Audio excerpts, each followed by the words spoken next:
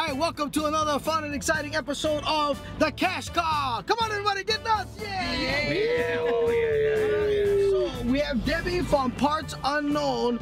Debbie has to answer four of our questions. She has a chance to win twenty dollars. Yeah, baby, twenty dollars. So the whole thing is, we gotta drive for a block.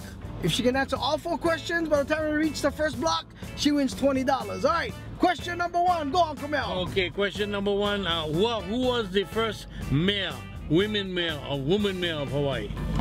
Um, Eileen Anderson. You got it, baby. You got it. Right on, coming up your way. Second question coming up. We're gonna do within this block here. It's tomato, a fruit or vegetable?